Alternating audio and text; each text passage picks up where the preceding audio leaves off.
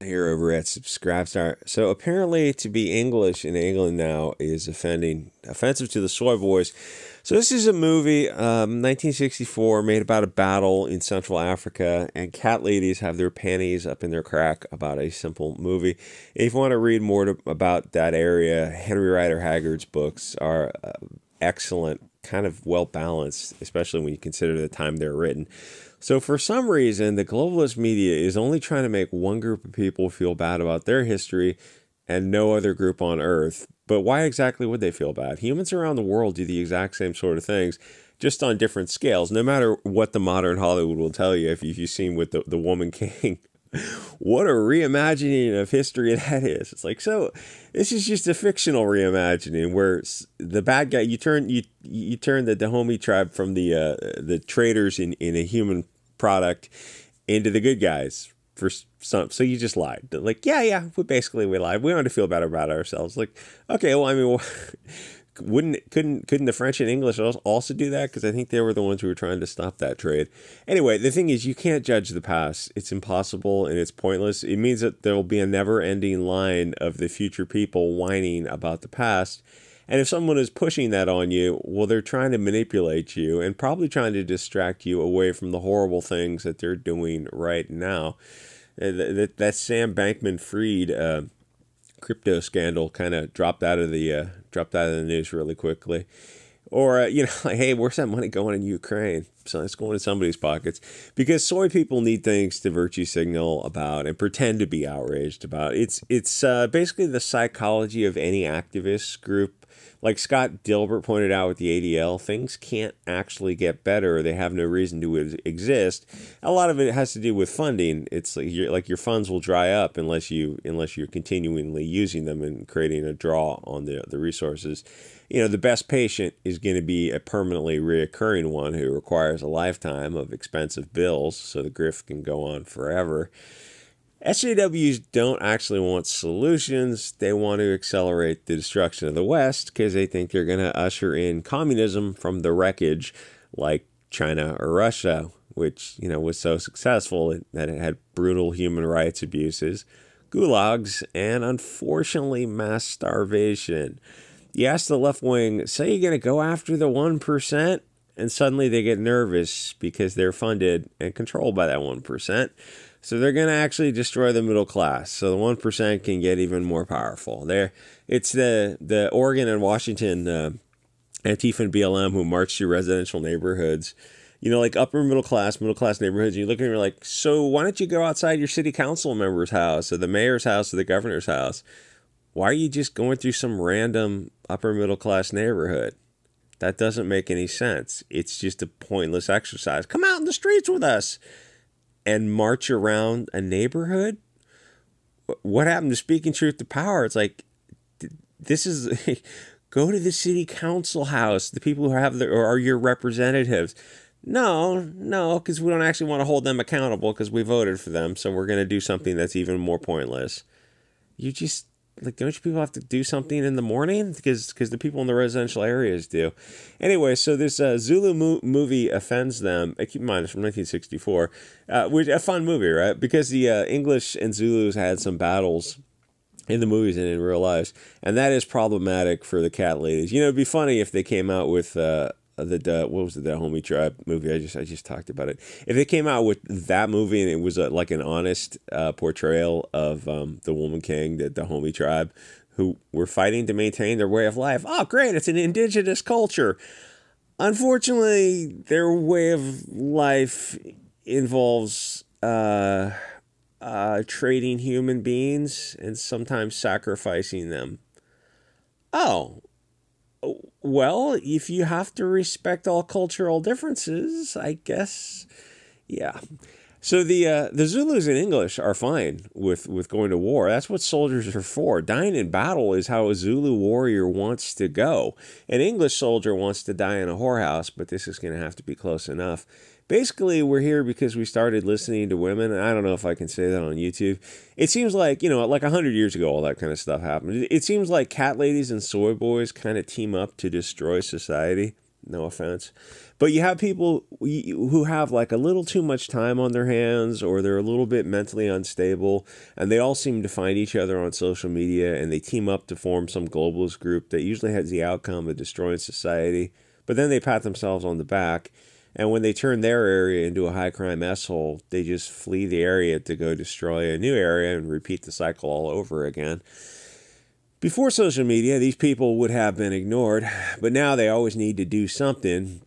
But they do things like tear down artworks and statues or they whine about movies, but they never actually do anything about crime or the increasing amount of homeless. They just change the nomenclature of the terms and then they get funding for themselves to prove whatever it is they wish to set out to prove that no, no, no, no, jail time actually doesn't work for criminals. I don't believe you. no, no, no. Here are the studies that say, you read the studies, like the studies say the opposite of what your conclusion is. Okay, you have me there. Um, so instead, they just rename things, and, and now it's the marginalized and oppressed, unhoused, who are people of drugs and violent crime renaming things is just another pointless rearrangement of deck chairs on the Titanic. But I'm glad you feel better about yourself, and then you can correct us when we use the wrong nomenclature. But you know, you're not actually doing anything about the homeless tent cities that are spread throughout America now. In fact, they just increase every year, and, and you're you're worried about this some Zulu movie on a you know. Uh, this is this is where you need to put your resources.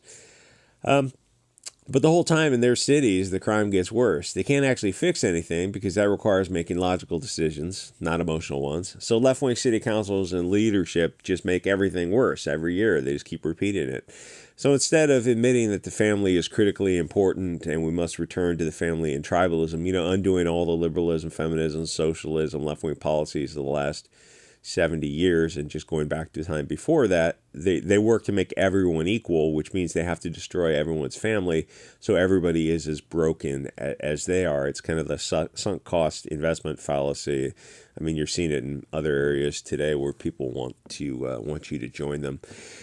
Um, so instead of dealing with real issues, they focus on old movies and books that don't fit their new worldview because the old material is coming from a nationalist and tribal perspective, and a nuclear family and tribalism or national pride is haram to these globalist worms, which is why it's so important to always be pointing out these filthy degenerates for the miserable reprobates they are and really, the optics here are pretty good because it's it's usually a group of fat, blue-haired Antifa girls and disgusting soy boys who you can smell through the screen, and they're always angry, which is pointless when they never come up with any solutions.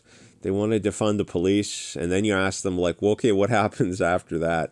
How do you prosecute criminals? And they give you a blank stare. You want to let everyone out of jail and close the jails, except for except for the right wing people. It's like okay, so you just want to you just want to persecute your enemies.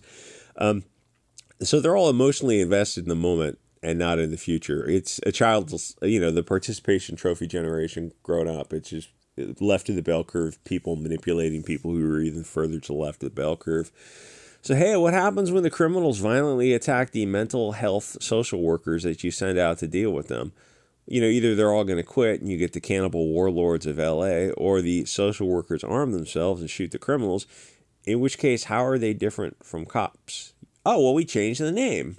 Yeah that's you just the the nomenclature is just rearranging deck chairs on the titanic. They don't have an answer for that either. They don't have an answer for a lot of stuff. So they think that the british were bad and the zulus were good which is not true. The zulus were every bit as bloodthirsty as the very bloodthirsty english and the english were breeding, uh, bringing much needed cultural enrichment in the form of diversity to central africa. The zulus didn't understand that diversity was their strength the Zulus didn't know that they were, they were going to be stronger together with the English enriching their lives. And there actually is no such thing as colonization because there are no lines on the earth. Africa, of course, belongs to the world. Didn't we all originate out of the early hominids tens of millions of years ago from that region? If you believe in that theory, then Africa belongs to all humans. It's the home place. It's weird that the left bring, uh, believes that non Euro diversity going to Euro areas is good, but the reverse is bad. And when it's the Empire of Dust China going to Africa, they just get kind of confused by that. Or if it's the Chinese killing elephants and rhinos, the left wing ignores it because they can't find a way to blame Europeans. If diversity is their strength, then the Zulus were in the wrong for resisting the English enriching them. To really value diversity, the English should have wiped them all out because they were a threat to the English diversity. It's only after a genocide that you're free to respect our differences in peace and harmony. Anyway, you can check out uh, Zulu on um, Odysee, BitChute, and pretty much every other uh, that type of uh, video platform out there. Fun movie, and I think they made it a follow up movie because I mean, there's no shortage of battles going on in Central Africa. I mean, if you wanted to, you wanted to film uh, like a movie um, in Central Africa now about settling the Zulus, it's like there's also no shortage of battles of them fighting each other and fighting other tribes. Like you don't have to involve the Europeans at all if you want to keep just keep it just the core uh, core African story. Um, there's I mean there's a ton of these kind of stories to tell, and Hollywood is not going to tell those stories uh, probably because. Um, I mean, one, the political correctness issue is like Hollywood only exists now to make uh, Europeans as the antagonists. So if you have a story where one African tribe is is going after another, like if you told the woman King the true story of the the Dahomey tribe, I can't imagine what the reception would be. Probably not a whole lot of people would see it because there's just probably not a whole lot of interest in it. People want to, you know, they want to follow the narrative where, where I mean, they make the retelling. Is, the thing is, if you told the true story, I'm sure it would make more money than this this bizarro fictional retelling where they were the good guys. Like, oh, we're we're forced to trade other human beings. We really wanted to trade rubber trees or something. It's like that's not what happened at all. Yeah, but if we say what actually happened, then the woke crowd will be confused. It's like you can't really go after them, but I mean they would they would probably try to anyway. Anyway, anyway, go check out Zulu, and I'll see you guys on next episode.